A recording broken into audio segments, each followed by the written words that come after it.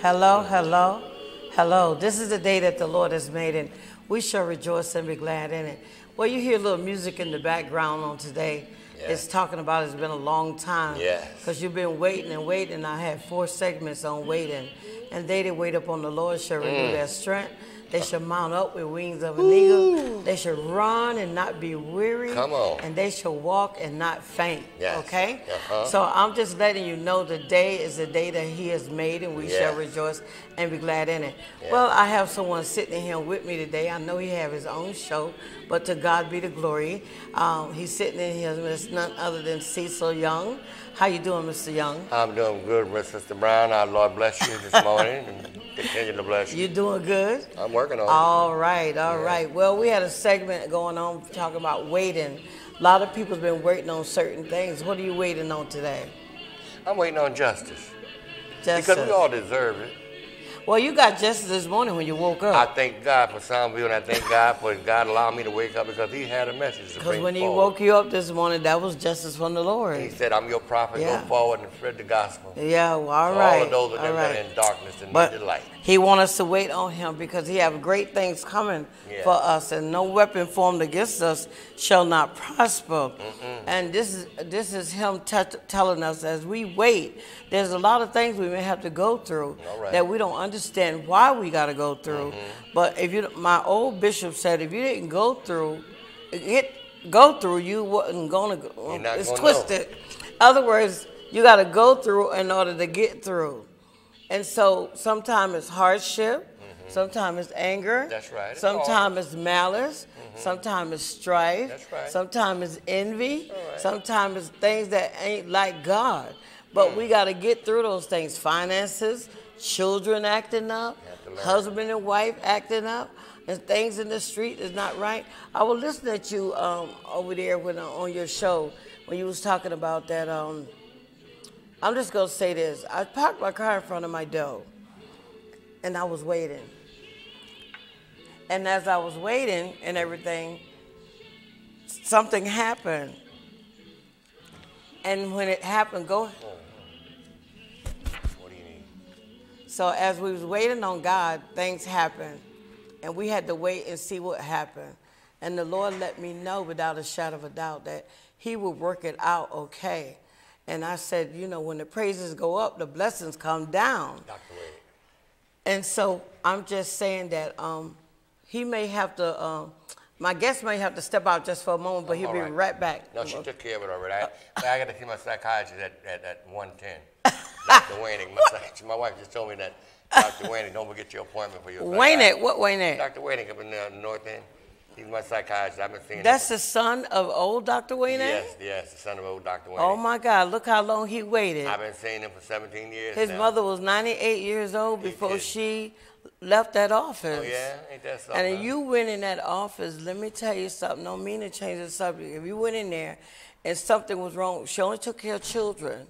But if the mother and father went in and, and she looked at them and she seen something, she would tell you and write it down. She wouldn't take care of it, All right. but she'd write it down. One of our nephews, and that's your blood family, Okay. Mm-hmm. Had a son, and they told Chris that that son would never be no good, and that um, they may as well put him in a home because his head, he was born with that head, huge head, right? type, they call him. And when they called Dr. Mack, Dr. Mack said her name Wayne Egg too. Mm-hmm. They said bring him to Connecticut, back to Connecticut because he's from Connecticut. And they brought him back from Greenville to Connecticut to see Dr. Wayne Egg. Yeah. And when Dr. Wayne Egg seen him, she said, I can't do the procedures or what you need to do. See, they that wait upon the Lord will get their answer. Right. Here they told him to put him in a home, never be no good, and he wouldn't be normal. Mm. And when they brought him to Dr. Mack, Dr. Mack, what she done? She drew a, a symbol on a board and she said, "Listen, tell the doctor that I'm gonna try to find something for you. Okay. You're gonna drill a hole in the top of his head. You're gonna put a, like a tube there, and you're gonna put a plastic thing on his back with a, a, container." The drain. and to drain. And she said in less than six months his head be normal. Come on, ain't that something, huh? Sucked all that You should see him. Let me tell you something. Huh? He remind you of somebody when you look at Jesus pictures when he was 12 years old and they show him, you know, Yeah. that boy looked like he came from another world. Uh, uh, uh. And then when he got 19 years old, he got killed by walking. Got out of bed three o'clock in the morning in Greenville, and decided and decided to walk down the street. And And, a car came from nowhere, and hit him, mm, and took mm, off. Mm, ain't that a? But you know what I'm gonna say, Cecil? Mm, we wait on the Lord. We don't understand why God give us something. We hold on to it for a while, then after a while, we lose that person. That per- person going to be with the Lord because a lot of people be mad when someone get hurt in the street, someone get killed on the subway, someone get killed in a car. Look at all those people. Eight people got killed the other day. Isn't that something? In Texas, you know what I'm the- saying? In the car, right? For 'em. But but then look at what happened in Texas at the school. The father, the son, and the wife turned down a little bit. They got killed. They got killed and left one son. Mm-mm. Huh? Left one son. Left one son. From that shooting of that young man last week. Mm-mm. So what I'm saying, if you read the Bible, the Lord didn't say what we're gonna be when we left here. Yeah.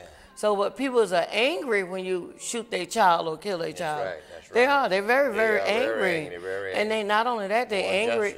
They justice. angry when um, the person died natural. Mm-hmm. But God in the Bible, I can't find nowhere where it says you're gonna know when you leave this world. Yeah, no. Thank God we don't know because it'd be something to be No, worried about. Because even out over. Jesus don't even know the time that the dad is going to make him crack the sky and come down here and pull his ones that save up with him to reign a thousand years. We don't know. No. Only God knows. So I'm saying to everyone out there. So Cecil, how's your show coming along? Well, the show's coming along pretty good as far as I'm concerned. I Mm-hmm. mean, I thank uh, Soundview for allowing me to come on here to talk about what I've been going through. And all I want is the people to be able to look at the evidence, not to agree with me because of me being Cecil. Right. It's about agreeing with justice. Right. Agreeing with right and wrong. Mm-hmm. You know, we come from a mighty long way. Right. And when you look at the fact that, that, that when it comes to First Amendment rights and struggles, we, we didn't, nobody gave that till we fought for the rights That's to have right, the justice right. Mm-hmm, that we've been offering and asking for. And it troubled me when we got people in positions of authority that look like you and me Mm-hmm. that become judges and prosecutors and people with authority. Mm-hmm. And they use that authority not to help us but to hinder us from getting the justice we deserve. That troubles me. And as an activist, as a community person who's been out there all my life for the last, I'm about 73 now, I've been out Mm-hmm. there since I was eight years old, shining shoes, selling day old bread, and helping out our folks in any kind of way I could. I mean, I was a hustler, I had to survive. Yeah. Because you got to remember that, uh, you know, I didn't graduate, I didn't go through the school system as most kids did. I spent all of my time in the courtroom and in the closet and, the, Wow. and in the principal's office. And, and, and that's why I really don't have the kind of degree in terms of being able to speak the kind of English language like folks who've been taught to speak the Mm-hmm, English language. So I speak the language that I know from the hood. Mm. And it's always been good to me Mm-hmm. because uh, I've been able to do things that I never thought I would be able to do. Right, right. Even though I was told back then I would never be anything, I would never do anything. Well, I thank God for Him allowing me to do so many things Mm. that I've done. Remember, now I've been a city sheriff, I've been a community activist, I worked for the Housing Authority for X amount of years, supervised overtime police detail Mm-hmm, for 5 years. I had a office in Greene Homes. Mm. I was a superintendent of P.T. Barnum, Mm-hmm. uh, where I grew up at and I became the assistant supervisor with all of the superintendents in Mm, the project. Okay, so God has been good to me in height of my handicaps, and the reason why is because I've been committed. You don't have no handicap. I've been well, it's a handicap to a degree, but it ain't gonna stop me because I know what God called me to Right, do. right. He says, "Speak truth to power." That's right. Expose the injustice that's been denied our people for years and years. Like Dr. King said, we shall overcome. You should. All right. Well, God is good. I just want to say, Cecil been a person that um, he never gave me no trouble. Whatever I asked him, he did it.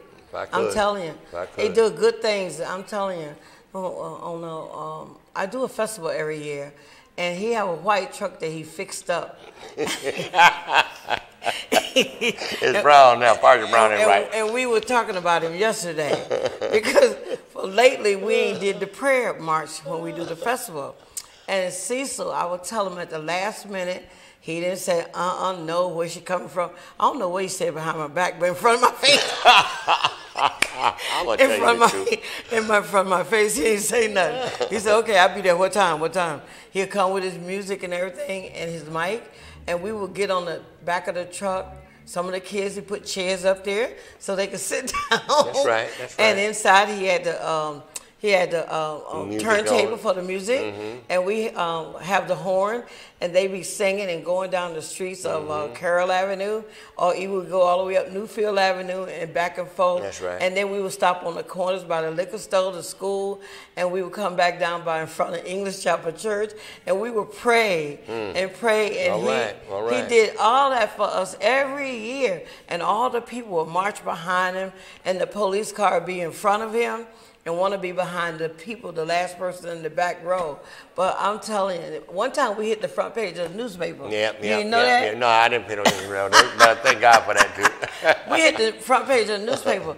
Over 300 something people marched. Yeah, And one of the guys yeah. is on a mic, mm-hmm. and he's hollering, "Oh, the car hit my foot." uh-uh. Yeah, he kept on marching. Did it? He didn't worry about no. You wasn't worried about no he pain at that time. He didn't worry about no injustice. No, no, he was just relieving he was that pain. praying and praying. he was marching. All right. And so those are the good days, and that's what one another other than Pastor Elder King Hartley. He was marching with the kids and keeping making sure they don't get on the middle of the street but stay on the side that's like they right. march. But we had the street. That's right. And the cars had to get in the back of us. That's right, that's we right. had the street. You understand? And so um, Cecil been there a long time helping us. But this year, I'm gonna tell you early, God's will, September the 19th. We're gonna try. You don't have to have no truck. We just, we I got a station wagon We just use the, oh, you, we can just use the station wagon, hash up the back, Right, right. put right. some of the kids in it, let Bobby and them have that mic and do their thing. You know, I want to do that march this year, God's will. But we were talking about you yesterday, and it was Mother's Day. Every day is Mother's Day. Mm-hmm. That's right. And to the ones that I did not say to last week, I ask God to bless you on today. And we give a shout out to none other than Deacon Johnson. Hello, Deacon Johnson. Hope you're feeling well, doing well. You and Lady Johnson, Deacon Reed, and Sister Reed. Also, we give a big shout out to Deacon Boyd, Lady Boyd, and uh, Mother Ethel. And not only that, Sister Brovanne. A lot of different people that we know that God, Caesar got his song on talking about it's a change coming. It is. Well, you know, you got to tell it- people what's going on because sometimes they can miss it. it's a change coming. But I said I'm rocking it wait to wait on the Lord because He's been good to me. That's right. We got a breakthrough gonna come through after all this. Um, everything is over for the conference. I have a conference coming up this week, Mm-hmm. and uh, I don't want to give a date or time because this air more than one time. Yeah, okay, okay. And so what it is, um, you can call me on 203-333-1124, and I'll tell you more about the conference that's coming up. Hope you can make it there. Hmm. Right. To God be the glory. If you can't, please pray for me, and please pray for Caesar. Yeah, I need prayer because let me tell you something. I mean, I haven't worked in 17 years. They took away everything I had. They took away my, my sheriff work, took away my city job, took away my insurance. No, and God say- and, and- no, they took away, but that's all right. God's But that's still okay. me. He, he, you know something? I ain't been behind in no payments. I'm not behind no taxes. I'm not behind no mortgage. Matter of fact, I'm not going to tell you the truth. My house is paid for. God paid for my house a long time ago. All You know what right. I already knew I mean, that. you know, I mean, but what I'm saying, I'm not bragging, but I'm saying for me to come from where I came from, P.T. Barnum, from the hood, not having all these above to work with to Right. make things happen. I had what my mother couldn't have. But I, and the first time I had two houses back 30 years ago, and I said, Mama, come on, move in there out of PT at that time. She said, I ain't going no Because she used to that heating hot and running, running water in PT. And thank God she didn't come because I lost the two houses back then because I didn't know no better. But now I got a house that's paid for. My daughter's uh-huh. going to be able to be comfortable for the rest of her life. Well, don't as long feel as she bad. Don't feel bad. along with my I. I, I, don't feel bad. My family decided they want to take me to court and take my mom's house. Ain't that But something? you know what? You talking about injustice, but I waited. And I just went through what they went through. My dad left a lot of money, and I was so naive and so silly. What I decided to do, my grandmother couldn't stand me in her own way because I was nine or ten years old, and I heard her in the closet saying, "That's not your child." yeah, and that affected you. That's That- not that- your that- child. that and see you. what I say about people, I get sick and tired and sick and tired of people talking about prejudice. That's right. That's Because right. prejudice starts in your own That's house. right. In your own mind. That's In right. your that's own- right, no, right. not In- my mind, Well, in well, my house. somebody feeding you that Yeah. kind of prejudice. My you know, grandmother said, "Well, look at her complexion. don't That's matter. not your child." That's right. And I'm like, in the color that she said, mm, mm, mm, I'm trying to figure out why would she say that about me? Yeah. You yeah. know, what that what do that Yeah, mean? yeah. When I look at my hair, my hair is black. Mm-hmm. But why would she say my face? My face ain't nowhere to look like them curtains over there.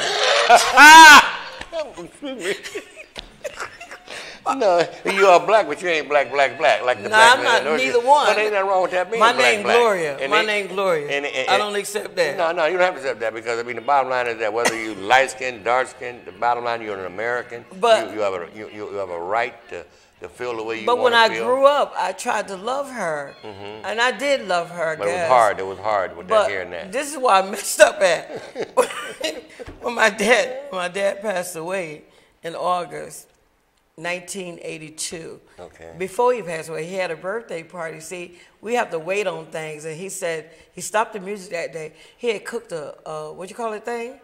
A, you call it a pig, I guess, right? Yeah, It's about half long as this table, and they had about four men carrying it with the legs up in the air like this. And he cut it up in many pieces. They made many different dishes Yeah, out yeah, of it. yeah. He had the street with all the macaroni and cheese, you name it, blah blah Everybody.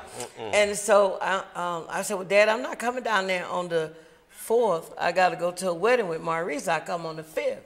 Okay. And so I got there. The man had surprised me, a cake from here to there, and he stopped the music. Mm-hmm. And he said, if I die today or tomorrow, my daughter don't have to kiss up to nobody. That's right, that's right. All my granddaughters. That's right, And what that's happened is that my grandmother disliked me when I was young. And so all this money that came in from my dad went to my dad's job. Hmm. And the man said he loved you so much, Gloria, because I was the only girl Yeah, with two yeah, boys. yeah, yeah. But he only raised my brother and myself, my Okay. older brother next to me. And me with my silly self wasn't thinking I should have told the man when the money come in, call me. yeah. So you be My right grandmother there. and my aunt and all them was with me. And I told him, I said, well, call my grandmother. That's my mistake I made. Yeah, she put a block Call on my you, huh? grandmother. She Let threw me that center block and that you. woman came up there when she called her, my daughter, I left my daughter to help her because Mm-hmm. she was living in the South. And she decided to move to New Jersey in my dad's house with my dad. And, the, and his boss said, well, how much money you need, Gloria? I said, I'm fine. I just bought a brand new LeBaron car. Mm-hmm. Yeah, yeah, You can still yeah, smell yeah, the leather, yeah, leather, leather in it. Le- leather. Anyway, I said, just give her $500. Okay. He did. Now, my dad paid into his pension. Mm-hmm. He had over $50,000 in his policies. Mm. And, I, and he had stocks and bonds like this.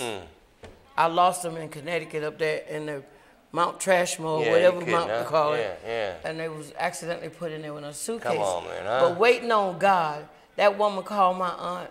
My daughter told my daughter, call your mother, tell her come. I got three thousand dollars. I said three thousand dollars. Out of all that money that they What had. I'm gonna do with three thousand dollars? I got three brothers. Yeah, yeah. Two yeah, brothers. Yeah, yeah. But I didn't do nothing. Still waiting on God to help me to love her. Yeah, yeah. And that time come, I went and led her through the sinner's prayer. When I packed up to go back, I said, Nana, where's my money? she thought you forgot about it. Yeah. Thought you forgot my dad had two mink coats, Uh-uh. over four and five thousand dollars. You Right? kidding, huh? He He had, the blue, like he had that? the blue Yeah. What is with it, the suede running down. What, what kind of business you in? He worked for a place like the Compellent place, okay. like okay. Sikorsky's. Yeah, okay. One of them But in, Mo- in Mom, what do you call it?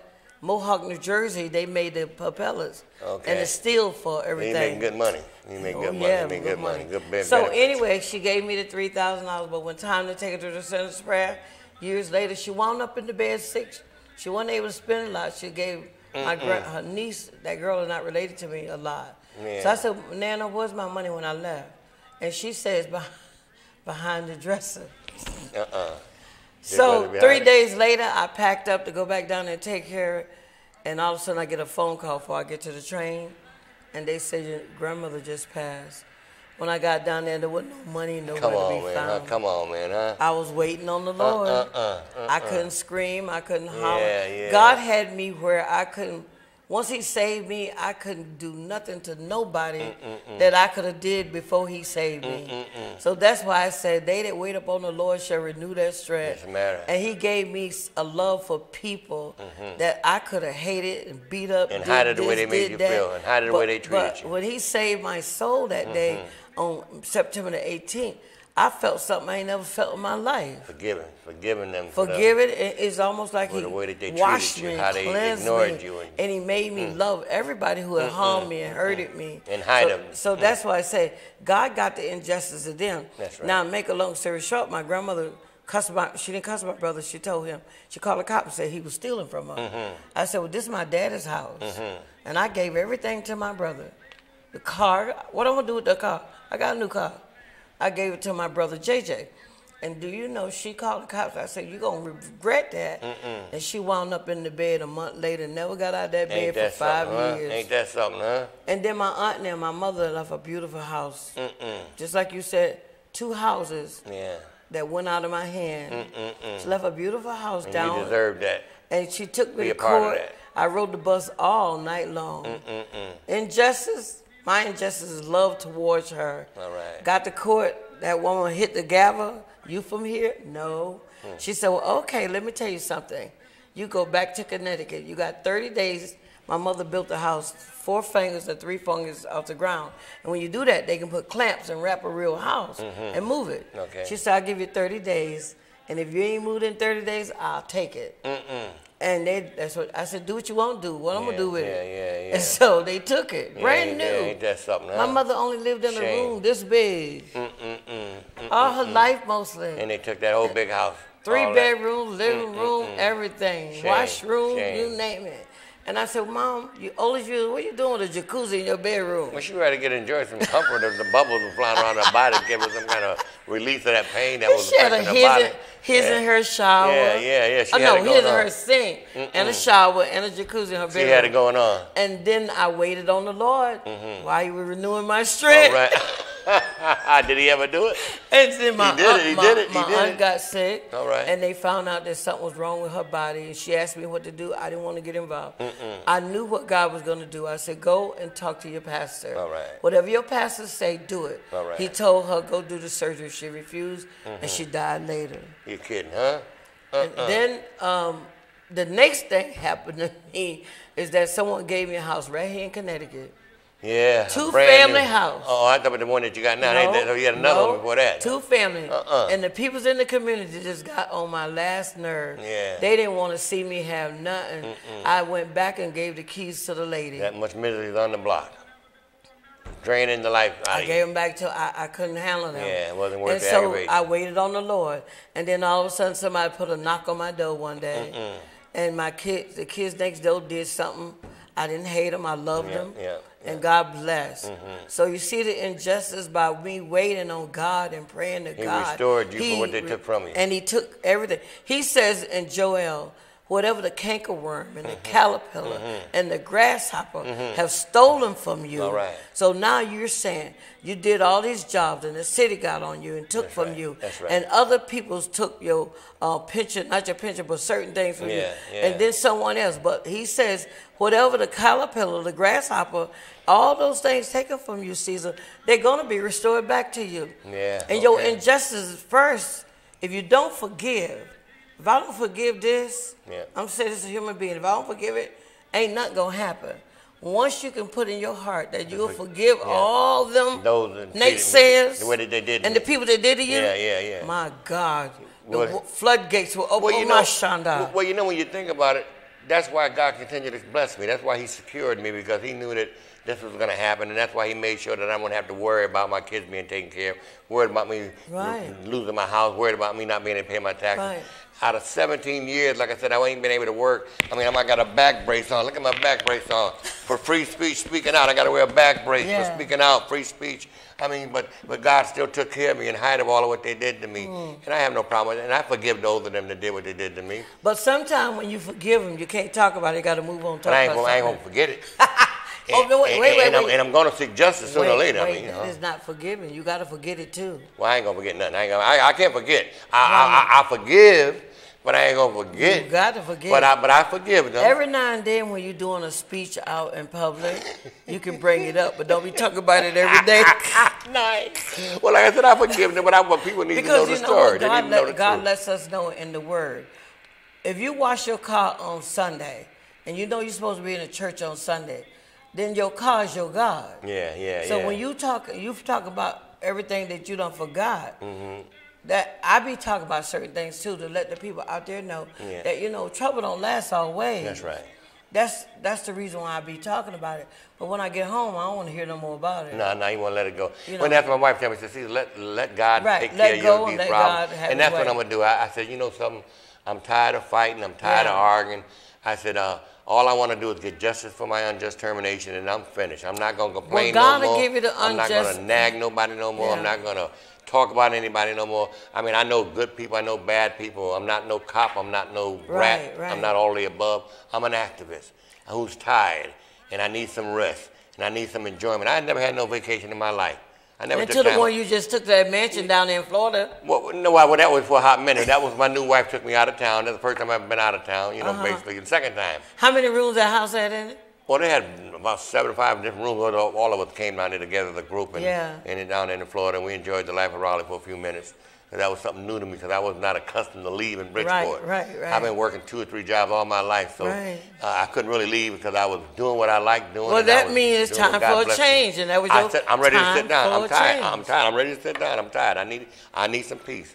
I But need to once enjoy you myself. once you forgive those people and forget it, I guarantee you, thus said the Lord, I'm speaking in your life, that somebody go, Mr. Cecil, can I talk to you?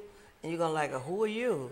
Well, I might have been from Washington Post or Mm-hmm. Yeah, yeah. Uh, Connecticut, uh, New York Post. All right. I want to do a story on you, and then all you're gonna say, well, wait a minute, what's in it for me? Yeah, And they're gonna say, don't be like me. I've been around the world, and I don't hate them. That's right. I've been around the world maybe a million times now. That's 15 years. Add that up. If if they had a gave me the day I met them five million dollars, do you know how much in six months how much money drops? Two hundred and fifty million. Six months it would been two down to 150 million.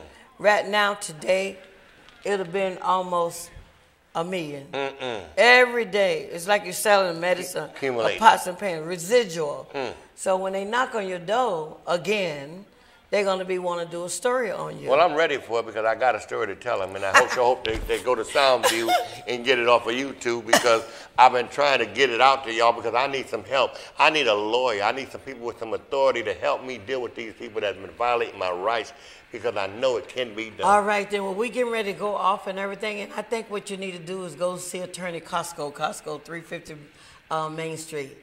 Fa- Uh, we thank you for uh, our prayer. We thank you for Cecil. We thank you that we calmed down a little bit in here because we, we could have I didn't know. I was. I, But may God bless us and may God bless the studio. May He bless everyone at the sound of my voice.